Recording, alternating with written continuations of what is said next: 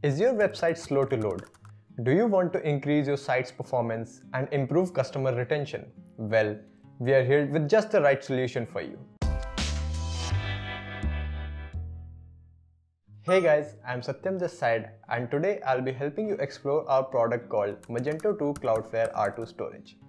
Using this extension, the admin can upload their website's media content such as product images, videos, descriptions, and more content over the Cloudflare server. Also, static data such as HTML, CSS, and JS files can be saved over the Cloudflare server. This will not only help improve the site performance, increase the loading speed, but also provide a smooth browsing experience for the customers. The admin can also upload the files for their downloadable products. Now let's hop on to the working of the extension. But before that, please subscribe to our channel and hit the bell icon to get the latest updates from us. Apart from this, I would like to mention that if you need extensions for increasing the sales of your e-commerce store, then you can visit store.webkul.com and explore a number of products for every technology. We also have the user guide for the same in our blog sections from where you can check the features and configurations to get to know the functionality of the extensions as well. Now let's move back to our video. Alright, so now let's check the configuration of the Magento 2 Cloudflare R2 storage extension. So here we are on the dashboard of the Magento 2. So let's go to system. I, I'm sorry, let's go to stores and then configuration. Now as you can see, the Cloudflare R2 storage extension has already been in installed in our Magento 2 instance, so we'll check out the settings involved in it.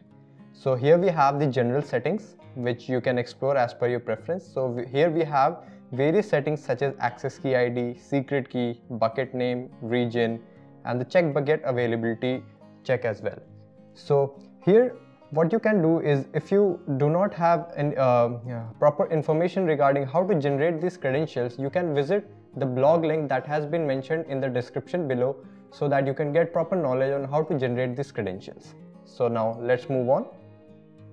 Here we can get the static view file settings and the cache settings. So there we have it. This is the main configuration settings of the Magento 2 Cloudflare R2 settings.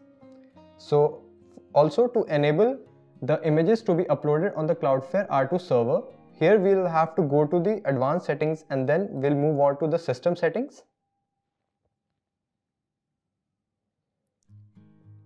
Here we'll go to storage configuration for the media and we'll select Cloudflare R2. Here we can see Cloudflare R2 has already been uh, selected so we'll not do any changes to that and we'll simply click on save configurations.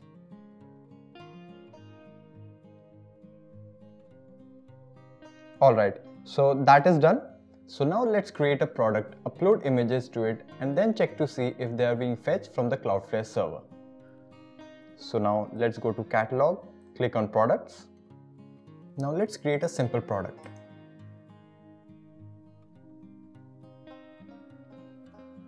Here we are on the new product page. Now let's create a product.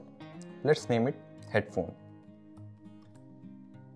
and input the required details let's say the price is 100 and we'll input the quantity, the weight and we'll also select a category. Now let's upload an image to it. Here we have already downloaded an image and we'll wait for it to upload. Now the image has been uploaded. Now we'll simply save the product. Alright, so as we can check, the product has been saved. Now let's check in on the front end. So now let's search for the product that we have created.